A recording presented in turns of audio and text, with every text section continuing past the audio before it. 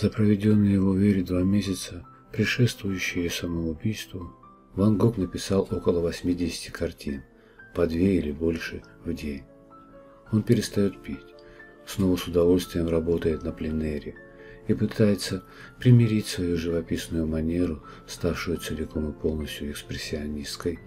Это художественное направление особенно много почерпнет из его творчества и подпитываемую сильным напряжением, со стремлением ко все менее достижимому внутреннему равновесию.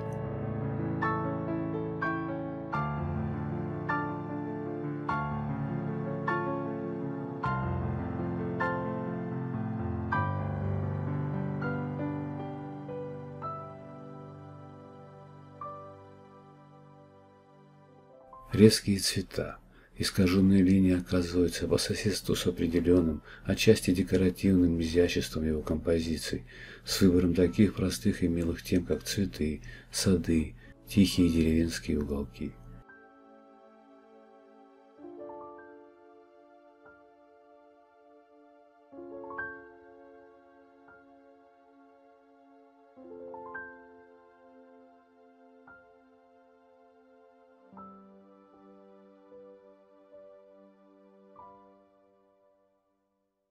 Ван Гог так описывает в письме к сестре воспроизведенную здесь работу.